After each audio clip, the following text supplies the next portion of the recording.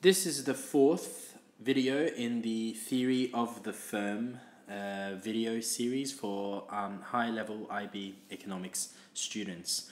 Uh, this will be part one of the short run costs of production. In the previous videos, I explained the difference between the long run and the short run.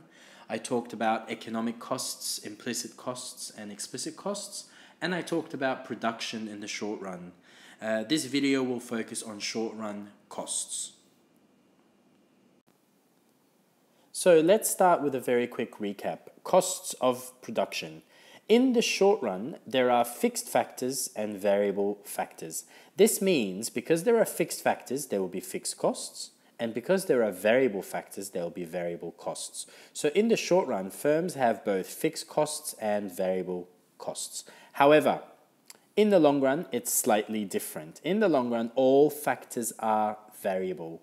In the long run, this is the period that it takes for the firm to be able to change or vary all its inputs. Therefore, in the long run, because all factors are variable, all costs are also variable. There are no fixed costs. This video will focus more on the short run. So we are going to have a look at the short run where there are fixed costs as well as variable costs.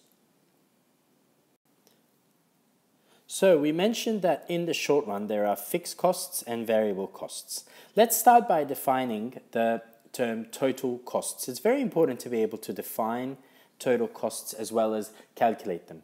Total costs are the complete costs that are incurred to produce a firm's output. So it includes all of the costs that the firm pays in order to be able to produce its output. Total cost is the sum of all fixed costs and variable costs. So total cost in the short run is divided into fixed costs and variable costs. Let's have a look at the difference between fixed costs and variable costs. So, Fixed costs. Let's start with fixed costs. Fixed costs, these are the costs that arise from the use of fixed inputs. So they are the costs that are associated with your fixed inputs, the factors of production that you cannot change in the short run. Say, for example, if you only have one uh, building where your factory is located and you can't as a firm, you can't move into another building. So in the short run, that building is a fixed factor of production. It's a fixed input. Therefore, any costs associated with it will be fixed costs. Fixed costs do not are costs that do not change as output changes and they arise only in the short run. Examples of fixed costs are things like rent, interest on any loans you may have taken from the bank, insurance premiums, property taxes, these are all fixed costs.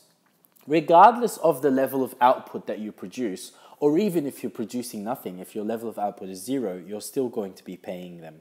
Now, the sum of all fixed costs, when you add all of your fixed costs together, this will give you your total fixed costs. Variable costs, on the other hand, these are the costs that arise from the use of variable inputs. These are the costs that vary, the costs that change as output changes. And so, variable cost will increase as output increases and decrease as output decreases. Examples of variable costs are wages for labor, the cost of buying raw materials. When you add all of the variable costs together, this will give you your total variable costs. Now remember, variable costs increase as output increases and they decrease as output decreases. How much you pay in variable costs will depend on how much you produce. And if your production level is zero, your variable costs will be zero. So, we said earlier that total cost equals total fixed cost plus total variable cost. Here is a numerical example. Assume a firm can produce this level of output here from 0 up until 1200 units. Its fixed cost is say $30 per month. Again, fixed costs in this situation could be uh, the rent of the building or it could be the interest on a loan that it's taken from the bank. Now the variable cost is here, as you can see, um, the variable cost will increase as output increases. You can see it's always increasing. Total cost, you just add both of them together. So 30, 30 plus 0 will give you 30, 30 plus 30 will give you 60, 30 plus 50 will give you 80, and so on until you have a column with the total costs. You need to be able to calculate total costs, fixed costs, and variable costs from a set of data. Now, if you graph this data that we just um, had a look at in the previous slide, you will see that the fixed cost curve, it is that blue horizontal line here. Now, because fixed costs are fixed, they do not change regardless of the level of output. Therefore, when you plot a graph which shows the relationship between costs on the vertical axis and output on the horizontal axis, the fixed cost curve should be a horizontal line that does not change. So here we said fixed costs were 30, so you would plot it at 30 and it would be a horizontal straight line. Variable costs have to always begin from the origin, from zero, because when your output is zero, your variable cost will be zero. So variable cost is that green curve in this diagram here. As you can see, at first it increases at a decreasing rate, and then it starts to increase again at an increasing rate.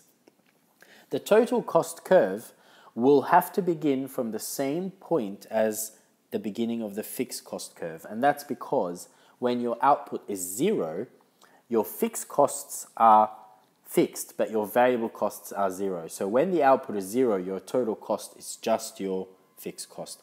And it will be a parallel curve. It is this gray curve that is parallel to the variable cost curve here. Again, it increases at first at a decreasing rate and then it increases at an increasing rate. Now we understand why the fixed cost curve is a horizontal line.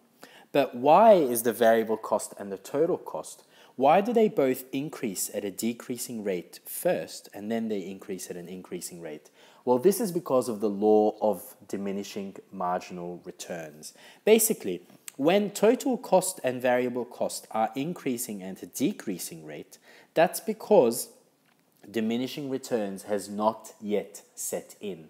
Once diminishing returns sets in, and therefore marginal product and average product start to fall, what you would see is that total cost and variable cost will start to increase, but at an increasing rate. Now remember, they're always increasing, but when it's increasing at a decreasing rate, diminishing returns has not yet set in. Once they both begin to increase at an increasing rate, then diminishing returns has set in.